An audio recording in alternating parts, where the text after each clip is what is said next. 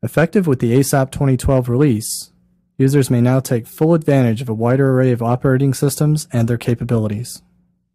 Support will be continued for the 32-bit versions of Windows XP, Windows Vista Business, Windows Vista Ultimate, Windows 7 Pro, and Windows 7 Ultimate.